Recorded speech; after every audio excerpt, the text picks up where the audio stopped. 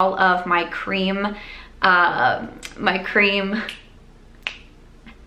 get it out Samantha, your cream what? Say it. Hey everyone, thank you for watching today's video. so excited to do, even though we're gonna be talking about some of the worst makeup that I've tried so far in the year 2021. We are about halfway through this year. Can you believe it? And I saw my friend Andrea do this video and I thought, that's a fun idea. Let me tell you about some of the worst makeup that I myself have tried this year. So I will link her a video down below if you haven't checked it out yet. But if you wanna hear about the five worst products I've tried so far this year, let's go ahead and get started. First up, I'm gonna start with one of the most recent products that I, I have in this video. I will say I do always keep a running list of products that I talk about. Not absolutely everything, but all of the palettes that I've tried, all of my top favorite makeup items, my least favorite makeup items, because that way at the end of the year when I do the wrap up videos, I've learned throughout the year that keeping a running tally of everything makes that end of the year a whole lot easier. So I, when I went back to look at my list, I definitely had way more favorites than I do fails. And I didn't choose all my fails. You know, I had skincare on there and, and hair care in there. I wanted to keep it to just makeup products. And I thought I would narrow it down to just five to kind of keep it short and sweet. I I like to think of myself as a more positive person, but you know, when it comes to makeup and my job as a reviewer, I have to keep it straight. I have to let you know when the products are just no good. So I narrowed it down to five. So this one here is my newest one. This is not good. I don't know what else to, I don't know what else to tell you guys. Um, this is uh, from the brand Florence by Mills, like a light skin tint. So I'm, I'm gonna, I'm gonna be giving a little bit away here from an upcoming video that I will have going up next week which is ranking all of uh, my skin tints. And um, I don't know, you could maybe just guess where this one is gonna come in at. I purchased quite a few skin tints recently. I do have another video up with four drugstore ones and kind of giving my first impressions on them before I did uh, my actual skin tint ranking, but that's gonna be coming soon. If you missed my last ranking video, it's all ranking all of my cream complexion products, uh, highlighters and blushes and bronzers, and then I did a little Sephora shop with me video and I bought I bought another liquid bronzer and I have it on today from Iconic London. And I did do a little bit of filming on this look. It's on my Instagram Reels using some of the new products that I did pick up from Sephora. So I'm March Beauty Word over there. But anyways, going back to the Florence by Mills skin tint. Yeah, no, I just, this, this was not good. This was clearly, you know, my least favorite out of the skin tints that I tried. There was a lot that I really, really enjoyed. And you know, trying to rank them was pretty hard for me. But this was one that the moment that I used it, I was like, oh no, no, no, no. Oh no, no, no. And then I tried it again. You know, I like to try everything multiple times, try it with different primers, different powders, different ways to apply it. And this was just not good. I first tried to apply this with my fingers and that did not work well at all. I actually switched to a brush in the middle of applying it for the first time. But something about this skin tint, it is so drying and it's very odd to me because it talks about being super hydrating and I, to me it's the complete opposite. It made my skin look dry. My skin felt dry. Applying it was dry. It just not so well. Uh, I'm kind of in a weird transition of what my skin is like. I did have really oily skin. I have just recently moved to Vegas. I've been here for about a month now and I can tell that my whole body is dry. My hair is dry, my hands are dry, my face is dry, like everything is dry, okay? okay? You know, when I talk about foundations, I definitely want to mention my skin type, even though I feel like I'm kind of in a weird, weird point right now. But even when I was first trying this one a few weeks ago, I had just moved here and I did have more oily skin and I was like, why do I look so freaking dry? This is so weird. And just the way that it wears and it sits on top of my skin, it's like it doesn't sink in fully all of the way. So it just kind of looks like you have that layer of makeup on where you want things to look more natural and blended. I don't know. I didn't like it. I didn't think the wear time was very great on it. Uh, I picked up the shade LM60, but I just, I don't really have a lot of good things to say about this one. Next up, you might have known that this one was gonna come in. I did review this one uh, fairly recently in another ranking video. I do a monthly ranking video uh, on all the products that I've been trying and this one was, I think in my most recent one because May's hasn't gone up yet. This is from Tatcha and this is their new silk powder. I am, mm, not to be dramatic, I'm not a dramatic person, but I'm devastated. Okay? I'm devastated that I didn't love this product because I really like Tatcha. I do like a lot of their products. I like their skincare products. I like some of their uh, complexion products. I really do like their Liquid Silk Canvas Primer the, the liquid one.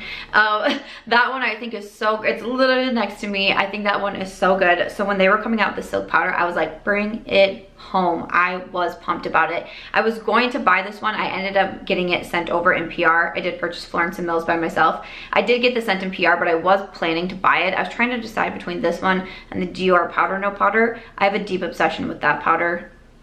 I'm really glad that I bought it and tried it.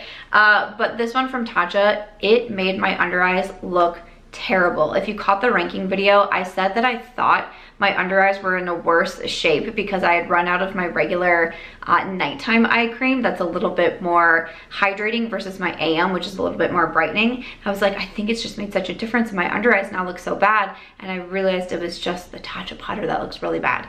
Now, I know people tell me don't use it on my under eyes. I still don't like the way that it looks on my face. It's too cakey for me. It's too heavy. I like really lightweight powders.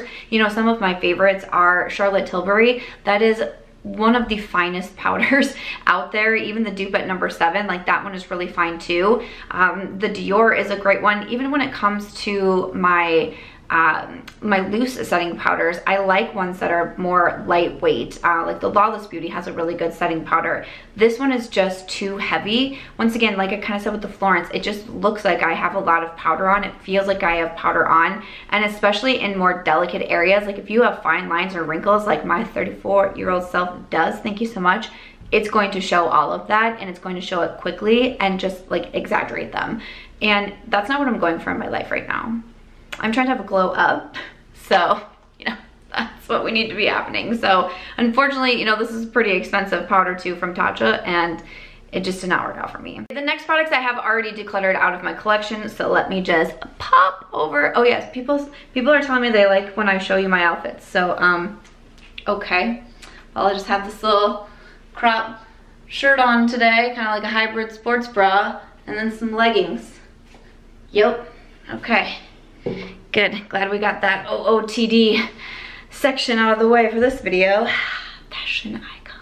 So next up, you probably knew this one was gonna be in here too. The Benefit They're Real Magnetic mascara. The magnetic one, I really like the Benefit They're Real mascara. I still have it in my mascara collection. I have a little mini of it. I think it's a great mascara. The magnetic mascara, I had no chance. I had zero chance with that one. From the first time I tried it, it was just a complete disaster. The first time that I tried it, it transferred all over my face, all around my eyes, and you visibly watch it happen in a Will I Buy It that I'm filming. My Will I Buy It's can typically, I mean, sometimes they can take me an hour to film. Um, they can take me a while, you know, I'm scrolling through my phone, you know, even though the videos are only 30 minutes, a lot of that is me cutting out footage or me with the camera off but still sitting here going through my phone finding the photos making sure i'm not missing anything finding the prices i'm here for a long time filming and I'm typically filming under a light or near a window with the sunlight. It does get warm in here, but you watch that mascara slowly go all over my face. And even though I sit close to my camera, I don't have like a screen or anything to watch me. So sometimes I need to get one, but with my new setup, it's just, I don't know what I'm doing in here yet, but I, I don't have a larger screen to be watching me to make sure like I'm in frame or like my lipstick hasn't gone on my teeth. You know, every once in a while, I think you can see me in my videos like visibly run my tongue over my teeth. I try to do it when I'm not on camera, but sometimes I'm like, ha, is that lipstick? and so I did not know that the mascara was going everywhere. I got done filming uh, and I started to take my photos, my, my photos for my thumbnail. And I'm, and I'm like, gosh, I feel like something looks like just a little bit off for me. And I finished taking the, because again, I can't see closely. So I get done taking the photos. I go into my other room. I was still in my old house at this time.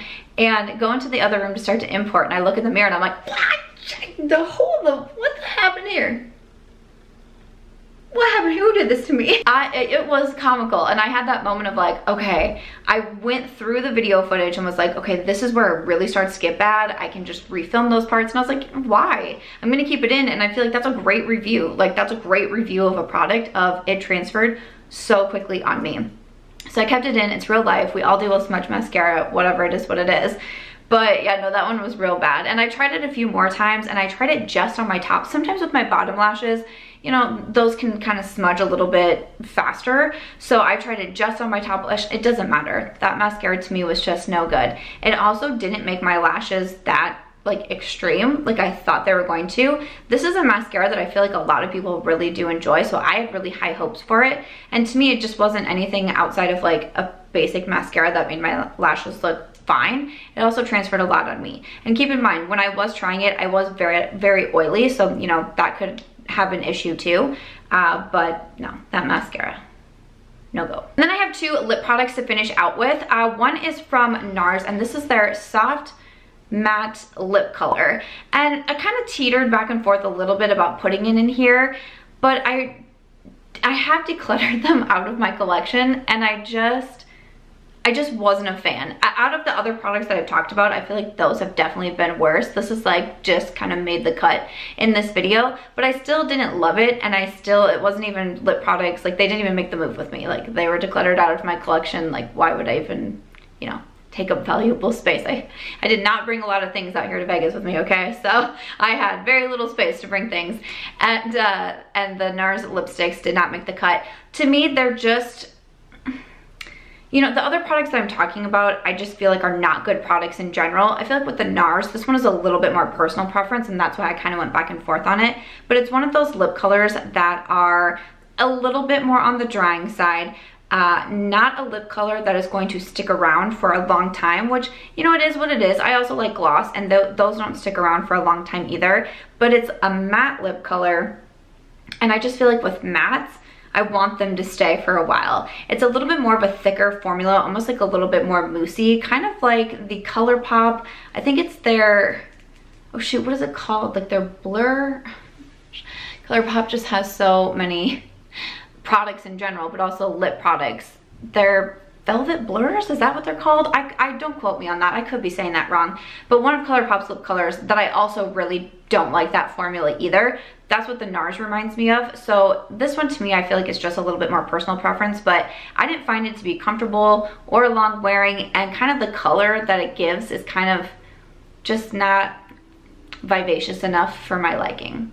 So the NARS soft matte lip colors those were a no-go. And then to finish it out, I do have a drugstore one. Is this my only drugstore one on here? Okay, all right. But from e.l.f., this is their Ride or Die Lip Balms. Now, I do believe that these came out in 2020, but I don't think I tried them until 2021. I did not try them when they first came out, and then they came out, I, I think I'm saying this correctly, with more shades. I got those sent to me in PR. I did also get the Benefit Mascara sent to me in PR. Uh, but when e.l.f. sent them, I was like, oh, I'll try them out. And it's one of those lip colors. I believe I tried it out for the first time in a video and I was like, oh, okay, great. Like it's a lip balm, has a just a little bit of color to it, not too much, but it felt good. I was like, awesome. After like an probably like an hour or so of wearing them, it starts to get that to be really goopy where it's like on the inner part of your lips, you get those like, just like, and I just, mmm I'm not a fan of that. I'm not a fan of that at all. I tried using it with less product because I was like, well, maybe it's me. You know, maybe I got a little too happy with my lip balm and just like on my lips. Uh, so I tried to use a less amount of product, but still it just, it's just like it's too thick or something and it kind of goops up that way, especially in those like little inner corners of your lips not good. So I'm not a fan of those. And I felt like they were drying. That was another thing too. With a lip balm, you know, I'd like to be like hydrated or moisturized or something. And with that one, I was like, why do my lips still feel so dry? So I know that they're more affordable and they're from e.l.f., which is great. But personally, I didn't like them. I don't know. Has anyone tried the e.l.f. Ride or Die lip balms? Because I don't think I've even mentioned them. I think I tried them towards the beginning of the year with like you know, my life was imploding and I just was trying to keep it all together. And I don't think I've actually reviewed them yet on my channel. So I think this is the first time I'm mentioning them in a review capacity. So I would love to hear from you if you've tried them and what you think of them. But other than that, that is it for today's video. The five worst makeup products that I have tried so far in 2021. I'd love to know what are some products that you have tried this year that you were like, mm, that's a no for me, girl. I would love to know, leave them in the comments. Again, please make sure to check out Andrea's video. This is where I got the idea from, so of course, please check her out. I will link her in my description box. And as always, if you enjoyed this one, please make sure to give it a thumbs up. I hope you also consider subscribing before you go, and I'll see you in my next video. Bye.